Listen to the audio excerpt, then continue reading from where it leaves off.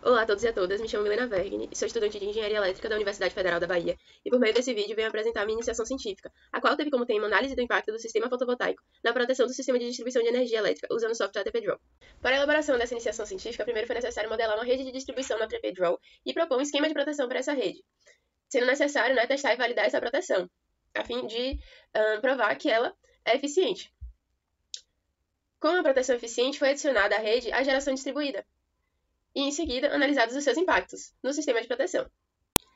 O sistema de distribuição escolhido foi o do I3E34 barras, por ele ser uma representação real do sistema de distribuição do, do norte do estado do Arizona. Então, ele é, abarca todos os equipamentos e características de um sistema elétrico de distribuição. Então, tem transformadores, reguladores de tensão, banco de capacitores e todos os tipos de, de configurações práticas né, de carga. Referente ao sistema de proteção, foram usados fusíveis e irrigadores. Os fusíveis eles podem ser localizados nos inícios dos ramais, como essas caixinhas vermelhas, e eles funcionam de tal modo que quando a corrente que passa por eles ultrapassa a, uma corrente que ele tolera, ele rompe a partir do, do efeito térmico e interrompe, por consequência, na corrente de falta. Já o irrigador ele funciona por ciclos de abrir e fechar a alimentação. Ele pode ser visto no, no início ali do, do, do tronco principal, e ele é responsável, basicamente, por alimentar e desalimentar, digamos assim, todo o sistema. Então, quando ele detecta um curto, a chave abre, ou seja, o sistema para de ser alimentado e para de passar corrente por todo o sistema. E decorrido um certo tempo da chave aberta, ele é religado.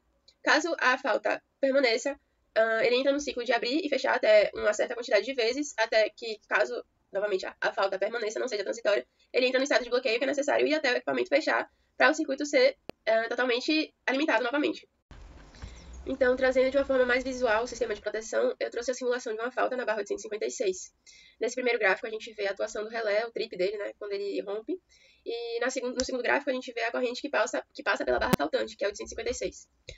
Uh, olhando para o segundo gráfico, a gente vê que no tempo 0,5 segundos, houve uma falta, ou seja, a gente vê aqui um pico de corrente.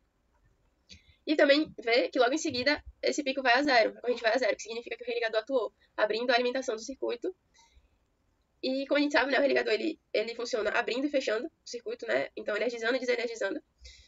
Em seguida, ele vai energizar novamente o circuito. Só que como a falta não é transitória, é possível ver novamente um pico de tensão. Então tem um pico, ele vai abrir o circuito, parar de energizar. E quando for fechar de novo, a gente vê que a corrente de falta ela é presente por um tempo maior. O religador faz isso exatamente para dar tempo do fusível romper, que é exatamente o que acontece. Quando o religador fecha pela terceira vez, pela segunda vez, desculpe, quando o ligador fecha pela segunda vez e mantém a corrente de falta por um pouquinho mais de tempo, o fusível, ele rompe, como a gente pode ver aqui no primeiro gráfico. Então, ele só rompe o fusível da barra faltante, que é 856, e para de, de injetar corrente de falta no circuito, digamos assim. Então, essa é a proteção coordenada entre o fusível e o religador. Só que quando a gente adiciona a geração distribuída, o que acontece é que quando o religador atua, né, identifica a corrente de falta, de falta e para de alimentar o circuito, o circuito não para de ser alimentado, porque a gente tem agora a geração distribuída. Então a gente vê aqui que no tempo T05 teve o pico de corrente, o religador fechou, ou abriu, mas a corrente não foi a zero, exatamente porque as fotovoltaicas que estão no circuito estão alimentando ainda, e estão alimentando essa corrente de falta, digamos assim. E o efeito disso, o efeito dessa permanência de alimentação, é que o fusível ele rompeu antes. Então o fusível antes ele estava rompendo no tempo igual a 1, agora ele está rompendo entre o tempo T05 e T1, ele vai por 0,75 segundos, digamos, ou um pouco menos. O que significa que a coordenação entre o relé, ou entre o religador e o fusível, essa coordenação foi perdida, exatamente porque na falta a alimentação do circuito ela foi mantida. O que significa dizer que é preciso adicionar uma proteção a mais na geração distribuída para que essa geração pare de alimentar enquanto tiver uma falta. E aí foi adicionada o relé sobre subtensão e sobre subfrequência é, na geração distribuída. E a gente pode ver aqui nesse gráfico que uh, o fusível e o religador voltaram a ter coordenação, rompendo no tempo t igual a 1.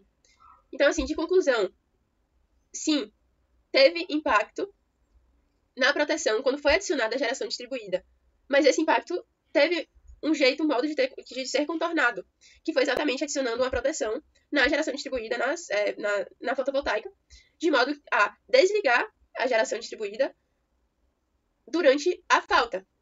E aí foi retomada a coordenação entre o fusível e o religador,